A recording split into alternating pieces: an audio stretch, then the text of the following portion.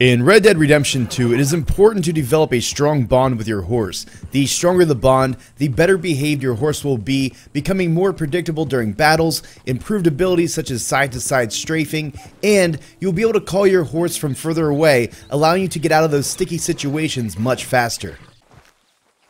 A quick tip to increase this bond is to care for your horse when you enter the camp. Head up to a hitching post and hitch your horse. Remember to remove the saddle to lighten the load of the extra weight that your horse has been carrying around. You can drop the saddle anywhere because it will automatically set it down at your specific campsite, the same place where you sleep and shave, uh, no matter where you drop it in the camp. Now walk back over to the horse and hold the left trigger to bring up the options menu for your horse, where you can now choose to brush it, pat it, or even feed it.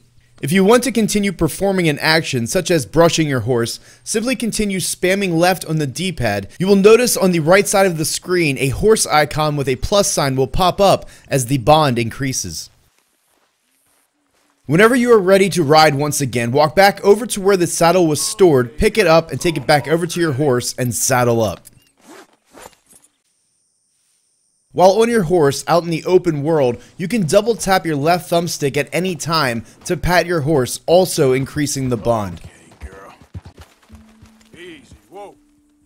And finally, uh, this is unrelated to bonding with your horse, but I figured I'd throw it in there in case anybody was having trouble figuring this out, as it is slightly different than it was in Red Dead Redemption 1. But in order to make your horse go up on its hind legs, hold down R1 and double tap the square button on PS4 or X on Xbox. Like I said, this doesn't increase the bond, but it does look cool and makes for some awesome cinematic moments. Thank you for watching. Be sure to subscribe for more Red Dead Redemption 2 content.